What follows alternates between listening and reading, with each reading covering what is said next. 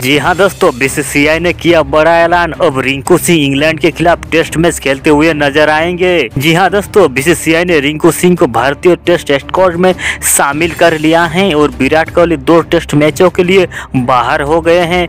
तो क्या विराट कोहली का रिप्लेसमेंट है रिंकू सिंह? क्या दो टेस्ट मैचों के लिए विराट कोहली के जगह पर के एस भरत को टीम में शामिल करेंगे या रिंकू सिंह को? हम आप लोगों को बताएँगे इस पूरी वीडियो में। तो वीडियो काफ़ी इंटरेस्टिंग होने वाला है, इसलिए बिना स्किप किए अंत तक देखते रहिए और चैनल पर पहली बार आए हो तो सब्सक्राइब कर लीजिए ताकि क्रिकेट से जुड़ी लेटेस्ट अपडेट सबसे पहले आप तक पहुँचे। तो दोस्तों, आप लोगों को बता दें कि बीसीसीआई ने रिंकू सिंह को सफ़ेद जर्सी में देखने के लिए टेस्ट स्क्वाड में शामिल कर लिया है।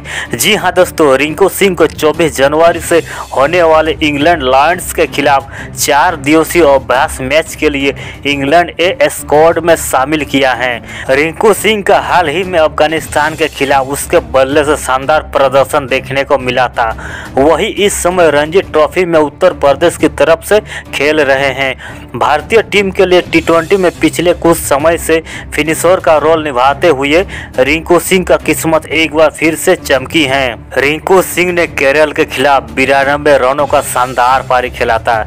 बीसीसीआई ने रिंकू सिंह को टेस्ट मैचों के सिलेक्शन करने के लिए उनको तैयार कर रहा है। इसलिए बीसीसीआई ने 24 जनवरी से होने वाले इंडिया ए और इंग्लैंड लॉयंस के बीच मैचों के लिए रिंकू सिंह को सिलेक्शन किया है।